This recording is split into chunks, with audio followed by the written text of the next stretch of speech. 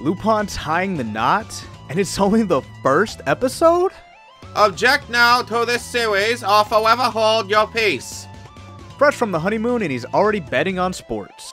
Lupin gets both the moral and the money this time. British people with British accents? Part 6 lied to me. Shall we talk about our Lord and Savior, Daisuke Jigen? Jigen always gets a toothache conveniently next to crime rackets. The bullet language of bullets told me he used bullets.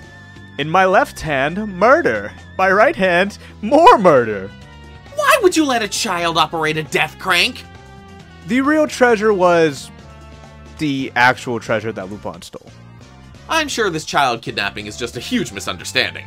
Nix, I uh, question your parenting skills. Your daughter has issues. I've always said Lupin is reverse Scooby-Doo, but this? Interrogation at gunpoint with a suit of armor. Classic Jigen. Pissing in a hole in a haunted castle. Classic Jigen? Oh, hey there, Goemon. Haven't seen you in a while. Oh, hi, Mark. If you ever wanted Lupin to be a harem anime. Does pissing off Nix ever go remotely well for you?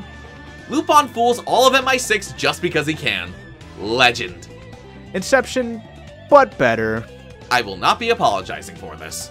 You know, I got this sudden craving for red wine. Second half of the series, and we promise Lupin's dead. Lupin has mastered the arts of escape and finger painting. Yep, that settles it. Part 4 Zenigata is best Zenigata. A random dude painting the Mona Lisa. I wonder who. Welcome to Lupin High, where the teachers build bombs. What? Professor Lupin brings a Walther to a stupid teacher fight.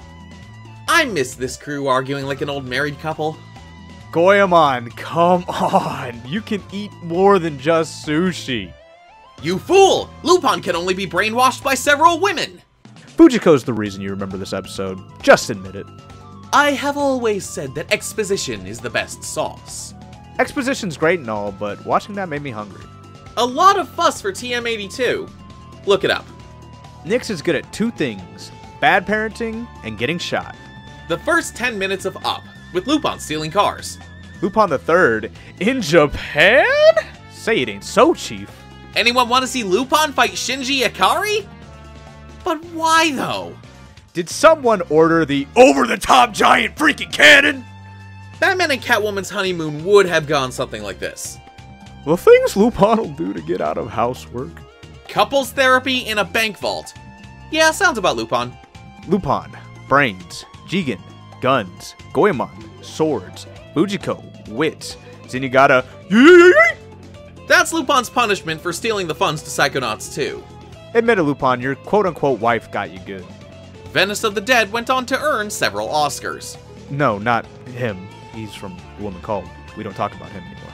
Who's worse, a thief or the guy stealing his sushi?